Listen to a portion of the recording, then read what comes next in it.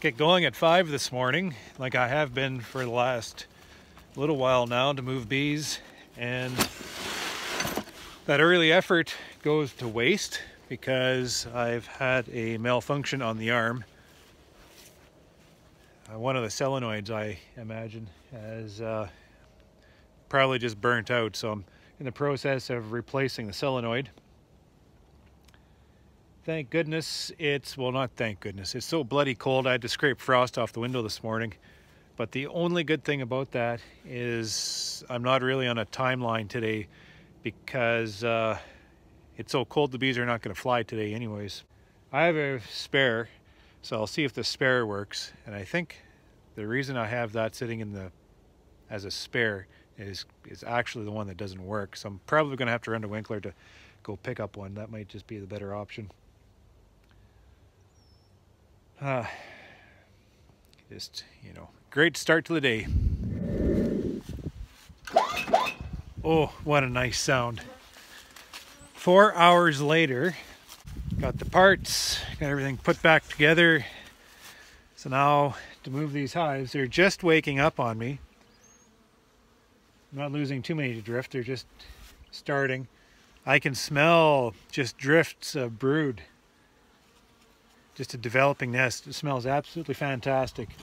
That's been the only thing that's really been keeping me in good spirits while I fix this damn thing. Just smelling terrific hives that I'm going to be moving. So at any rate, I'm going to put this back together and get this load moved out.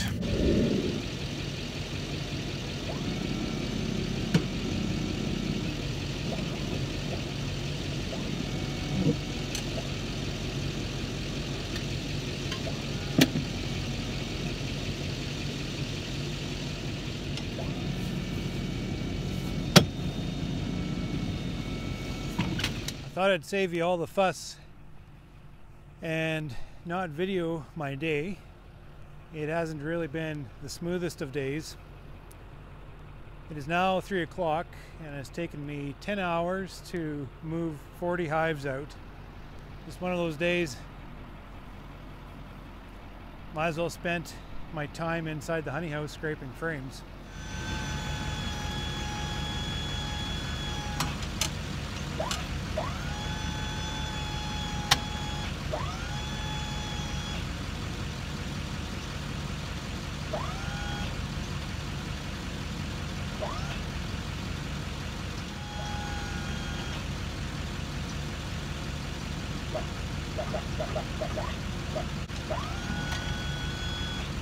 It's plus nine out right now and kind of cloudy, feels real cool. But the bees are actively foraging. Not a lot, just little drifts of bees coming in. So I wanted to keep going. I didn't want to hold up my work, so I pulled out two yards from here. I'm gonna leave this last yard just to collect the drifters coming back. But as I'm loading these colonies out on the truck, I get that sense of full. These colonies are full, they need space. There's one that was just starting to boil out of the front entrance on me. It's like, oh boy. So they're starting to tell me every time I come and visit them, every time I come and do my bee work, they're starting to tell me, just remind me, hey, we need some space here. So not tomorrow. I'm gonna get the guys to sort boxes all day tomorrow. But Wednesday we're gonna go out and we're just gonna start slapping down seconds and get these hives with space on. Now's the time when they start telling you, you better start, you better listen to them because they'll start making their own plans, and you don't want that to happen.